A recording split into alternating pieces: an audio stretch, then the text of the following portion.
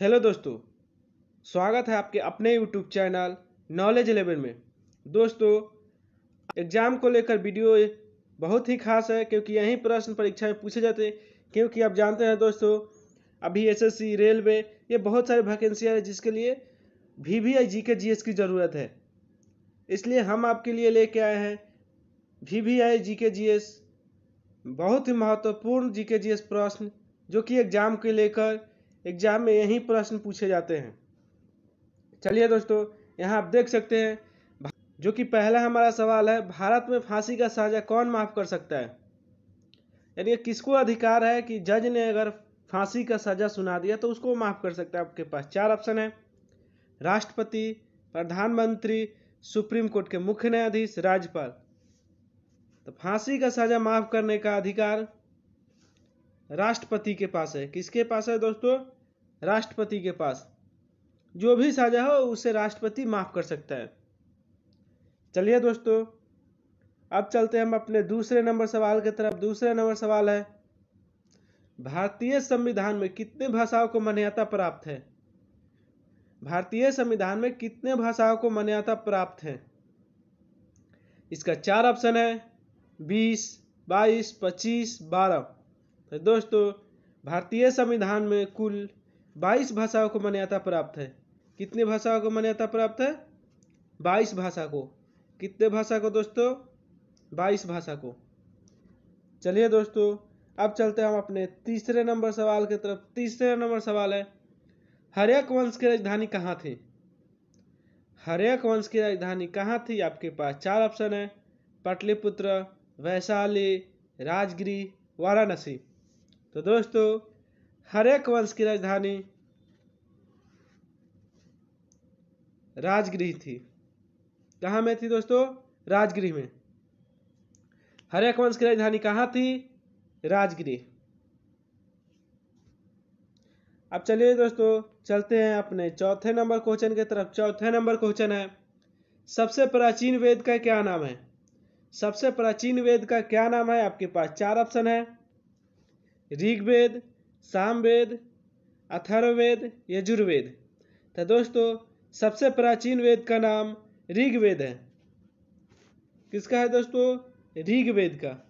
किसका है दोस्तों? ऋग्वेद का।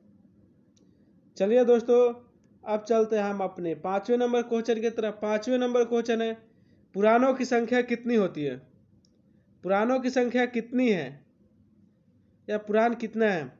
तो दोस्तों पुराणों की संख्या अठारह है। कितना है दोस्तों? अठारह है। पुरानों की संख्या कितनी है दोस्तों? अठारह है। चलिए दोस्तों, अब चलते हैं हम अपने छठे नंबर क्वेश्चन के तरफ़, जो कि हमारा है, गुलाम वंश के संस्थापक कौन थे? गुलाम वंश के संस्थापक कौन थे? आपके पास चार ऑप्शन है। पहला मोहम्मद गौरी, दूसरा शाहजहाँ, तीसरा कुतुबुद्दीन ऐबक चौथा बाबर। तो दोस्तों, गुलाम वंश के संस्थापक कुतुबुद्दीन ऐबक थे। कौन थे दोस्तों? कुतुबुद्दीन ऐबक कौन? कुतुबुद्दीन ऐबक गुलाम वंश के संस्थापक कौन थे? तो इसका आंसर हो जाएगा दोस्तों कुतुबुद्दीन ऐबक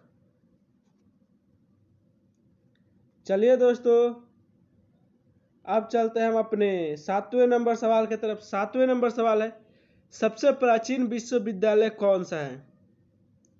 सबसे पुराना या सबसे प्राचीन विश्वविद्यालय कौन सा है? आपके पास चार ऑप्शन है, विक्रमशिला, नालंदा, तक्षशिला, इसमें से कोई नहीं।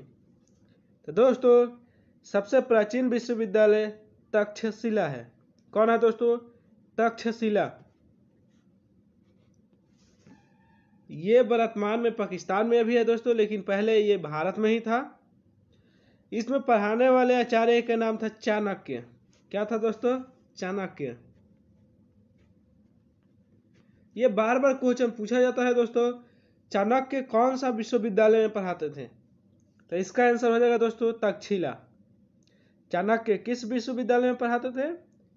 तक्षशिला में। चाणक्य किस विषय के टीचर थे? अर्थशास्त्र। उस समय अर्थशास्त्र का मतलब होता है राजनीतिक। उस समय का अर्थशास्त्र का मतलब था राजनीतिक।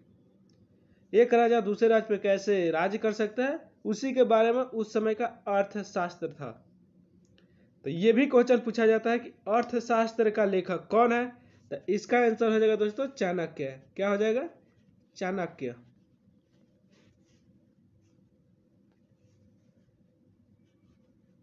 क्या हो जाएगा दोस्तों? चाणक्य।